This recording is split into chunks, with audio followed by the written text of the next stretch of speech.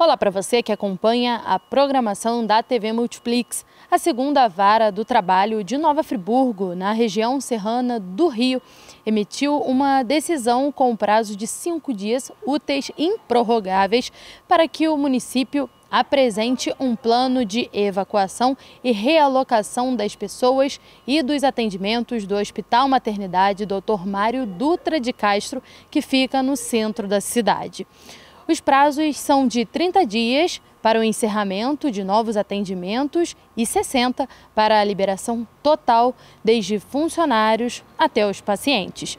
A decisão é da juíza do trabalho titular Ellen Marques Peixoto e atende a um pedido cautelar feito pelo Ministério Público do Trabalho para interdição total da unidade no ano passado. No documento foi destacado que a Prefeitura apresentou um laudo técnico de vistorias nas instalações elétricas da maternidade, assinado pelo secretário municipal e subsecretário de Serviços Públicos, com a recomendação de que todo o sistema elétrico da unidade fosse refeito. E também que a Prefeitura reconheceu a inexistência do alvará emitido pelo Corpo de Bombeiros para o funcionamento da unidade, informação que foi confirmada pelo órgão estadual.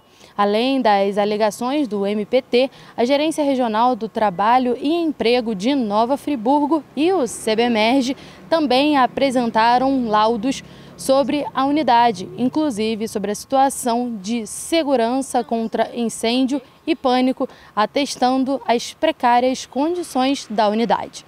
A Prefeitura respondeu por meio de nota que todas as cobranças feitas pelo MPT estão sendo devidamente encaminhadas e em nenhum momento a administração municipal esteve inerte.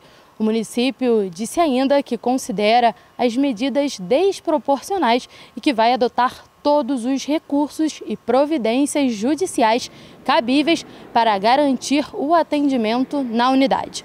O prefeito Johnny Maicon também se manifestou sobre o assunto pelas redes sociais e disse que, de maneira estranha, o governo foi surpreendido pela Justiça do Trabalho e destacou que nenhuma gestante e criança ficarão sem atendimento na maternidade.